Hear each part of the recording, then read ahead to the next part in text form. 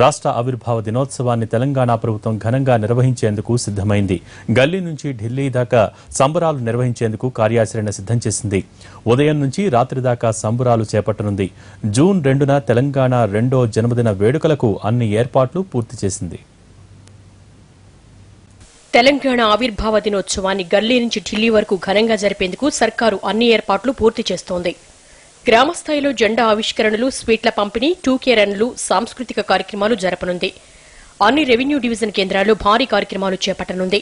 ప్రతి జిల్లాలో ఉత్సవాల నిర్వహణకు ముప్పై లక్షలు కేటాయించింది సర్కార్. ప్రతి జిల్లాలో విశిష్ట సేవలు అందించిన ఇరవై ఐదు మందికి పురస్కారాలు అందచేయనుంది. ఢిల్లీలో కూడా ఉత్సవాల నిర్వహణకు ముప్పై లక్షలు కేటాయించారు. మొత్తంగా పది రోడ్లు ఇన్వర్సివ్ లైటింగ్ అంటే ఒక డెకరేటివ్ లైటింగ్ అనేది ఆ రోడ్ పోతుంది. You'll feel part of that lighting అనేది అద్భుతంగా వచ్చే విధంగా అవి కూడా ఏర్పాటు చేయడం జరుగుతుంది. సో ఇవన్నీ కూడా టూరిజం డెవలప్మెంట్ కార్పొరేషన్ ద్వారా ఎగ్జిక్యూట్ చేస్తున్నాం. బట్ నోడల్ ఏజెన్సీ అంతా కూడా కంప్లీట్లీ కల్చర్ డిపార్ట్మెంట్ నుండి నిధులు వస్తాయి.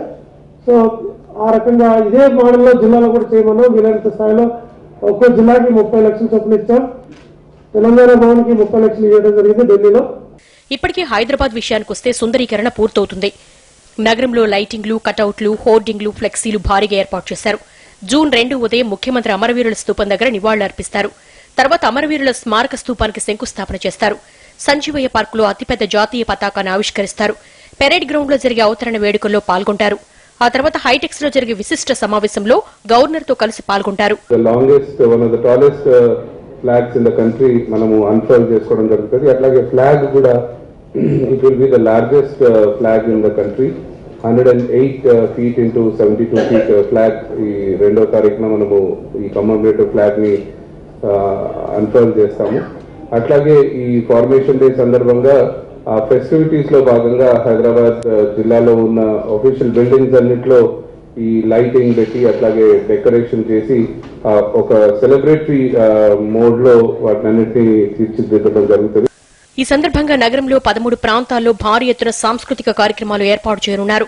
ట్యాంక్ బండ్ పైన ఐదు వందల మంది కళాకారులతో ఆరు గంటల పాటు సాంస్కృతిక కార్యక్రమాలు కవి సమ్మేళనాలు ప్రేరిణి శివతాండవ నృత్యాలు ధూమ్ధాంలు ఏర్పాటు చేశారు.